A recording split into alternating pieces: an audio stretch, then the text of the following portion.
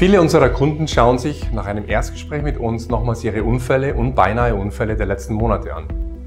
Dabei stellen sie sich die Frage nach der ursprünglichen Quelle und den Ursachen der Ereignisse, die sich gegebenenfalls auf den Faktor Mensch beziehen. Sie gehen dabei nicht nochmal ins Detail, vielmehr stellen Sie sich drei Fragen bezüglich des Unfallhergangs und erweitern damit Ihre bestehende Unfallanalyse.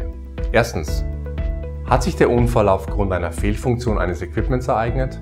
Oder liegt der Grund im Fehlverhalten einer dritten oder der verunfallten Person selbst? Zweitens. In welchem emotional oder physischen Zustand hat sich der oder die Verunfallte womöglich befunden?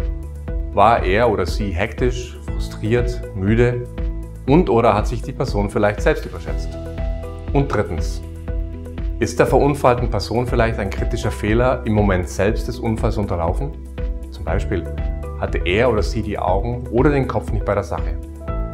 Prüfen Sie Ihre Unfälle und beinahe Unfälle von 2019 in einer freien Stunde einmal auf diese drei Fragen hin. Sie werden überrascht sein, wie viele Ihrer Ereignisse gar nicht passiert sind, weil jemand eine gefährliche oder schwierige Tätigkeit durchgeführt hat, sondern weil einer oder eine Kombination der vier Zustände und kritischen Fehler im Spiel waren. Wenn Sie möchten, verwenden Sie dazu unser Tool, das wir Ihnen gerne kostenfrei zur Verfügung stellen. Dabei werden von uns keinerlei Daten über Ihre Analyse erhoben, Ihre Angaben bleiben absolut anonym und bei Ihnen im Unternehmen.